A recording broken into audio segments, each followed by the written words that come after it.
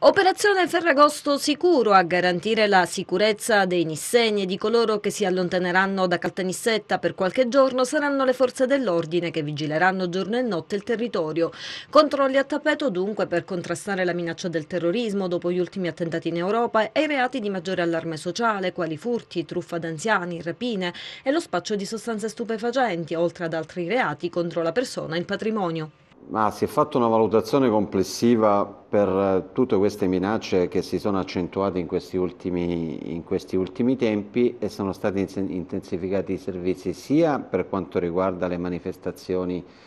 le manifestazioni pubbliche in cui ci sono assembramenti, assembramenti di persone, sia i servizi sul territorio per, per tutti gli obiettivi sensibili. È stata una valutazione assunta in sede di comitato, quindi concorrono tutte le forze di polizia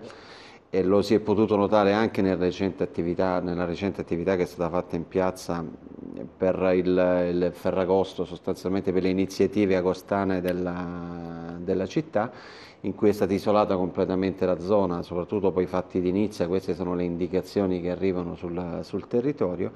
per dare più, più, tranquillità e più sicurezza alle persone che partecipano a questi, a questi eventi. Diciamo, questa è stata la priorità che in, questo, in questa fase si è, si, è voluto, si è, voluto, adottare. È chiaro che questo comporta un'implementazione di, di, risorse, di risorse notevoli e ci sta facendo fare un extra, un extra impegno, devo dire, molto importante. Chiudere sempre la porta a chiave, sensibilizzare i vicini affinché ci sia reciproca attenzione ai rumori sospetti sul pianerottolo o appartamento, non fare sapere ad estranei programmi di viaggi e vacanze, evitare l'accumularsi di poste e pubblicità, questi alcuni consigli per scongiurare spiacevoli sorprese al ritorno. Non siete soli, chiamateci sempre, è invece lo slogan della nuova campagna contro le truffe agli anziani. È un'iniziativa a livello nazionale, una sensibilizzazione soprattutto per ciò che attiene le, le, le truffe, i furti, le rapine in danno di, di persone anziane o comunque di soggetti un po' più,